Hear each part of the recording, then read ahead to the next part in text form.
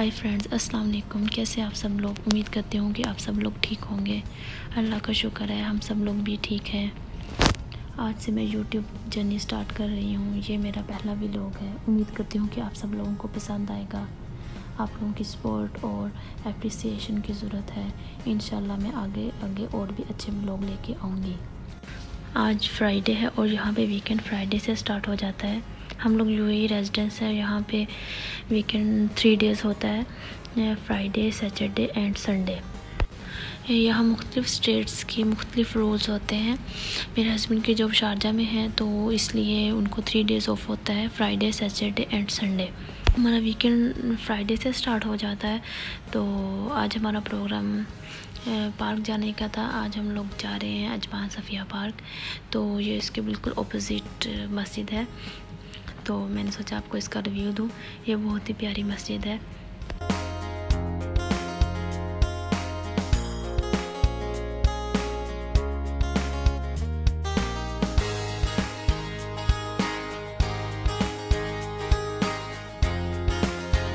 हम लोग पार्क पहुँच गए थे। ये अजमान में है, सफिया पार्क। हम लोग आज सफिया पार्क आए थे। हम लोग अक्सर यहाँ पर आते हैं और बच्चे यहाँ बहुत खुश होते हैं।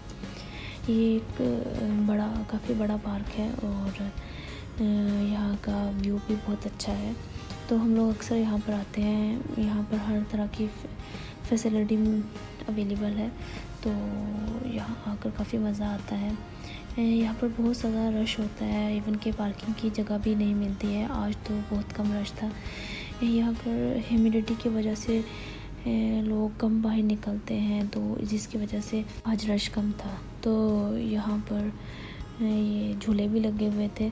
तो बच्चे यहाँ पर आकर बहुत खुश होते हैं, अपना इंजॉय करते हैं और खेलते हैं। हम लोग भी, हम लोग भी आराम से बैठकर इनको देखते रहते हैं और खुश होते हैं।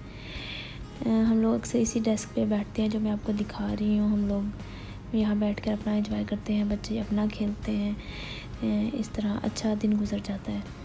तो यहाँ पर जॉगिंग ट्रैक भी है एक्सरसाइज के लिए, मशीनें भी लगी हुई हैं और आपको स्टार्ट में कैफेटेरिया वगैरह भी मिल जाएँगे। तो यहाँ, इसलिए हम लोग इस पार्क को प्रेफर करते हैं कि हमें यहाँ पे सारी फैसिलिटीज़ मौजूद हैं। और यहाँ पे एक, और भी बहुत अच्छी बात है कि यहाँ पर एक बीच बना हुआ है। तो हम लोग अक्सर यहाँ पर आके बैठ जाते हैं। मुझे तो यहाँ पर बैठना बहुत ही अच्छा लगता है। मैं अक्सर अकेले भी आकर इधर बैठ जाती हूँ और काफ़ी देर बैठे रहती हूँ। यहाँ का व्यू बहुत अच्छा है। यहाँ का व्यू हस्बैंड को भी बहुत अच्छा लगता है और हम अक्सर यहाँ पर बैठकर एंजॉय करते हैं। बच्चे अपना खेलते हैं और हम लोग अपना एंजॉय करते हैं। काफ़ी अच्छा डे स्पेंड हो जाता है। तो बस अब हम लोग जा रहे थे घर और आज हम लोग बना रहे हैं चिकन शनवारी। तो ये एक इजी रेसिपी है और जल्दी भी बन जाती है और सबको पसंद भी बहुत आती है।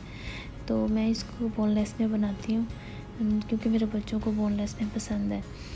तो अक्सर ही मैं ये बना लेती हूँ शॉर्ट टाइम में तो अक्सर मैं यही बनाती हूँ, क्योंकि ये काफ़ी जल्दी बन जाती है।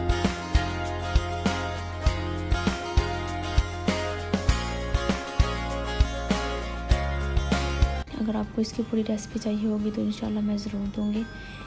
इन शॉर्ट ये है कि के लिए आपको 500 ग्राम चिकन लेना है और पैन में हाफ़ कप ऑयल डालकर उसमें हाफ़ टी स्पून नमक डालना है और उसमें चिकन डालकर उसको दो से तीन मिनट पकाना है। और फिर उसके बाद उसमें हाफ़ के जी टमाटो लेकर सेंटर में से कट लगा कर आपने उसके ऊपर रख देना है और उसको लिड को क्लोज़ कर देना है। पाँच से दस minute low to medium flame पे पकाना है। जब टमाटर गल जाए, उसके जो छिलके हैं वो रिमूव कर देने हैं और फिर उसके अंदर अदरक और लहसुन अदरक का पेस्ट और सूखा धनिया डालना है। फिर उसको पानी ड्राई होने तक पकाना है। जब पानी ड्राई हो जाए, फिर उसके अंदर crush chilli and red crush chilli और ब्लैक पेपर डालकर उसको ऑयल सेपरेट होने तक पकाना है। जब ऑयल सेपरेट हो जाए, फिर उसके अंदर गरम मसाला डालना है और चिकन तैयार है। मुझे और मेरे घर वालों को तो ये बहुत पसंद है। अगर आपको इस, पसंद आए और इसकी रेसिपी चाहिए तो मैं आपको ज़रूर दूँगी। आप प्लीज़ मेरे चैनल को लाइक कीजिए शेयर कीजिए सब्सक्राइब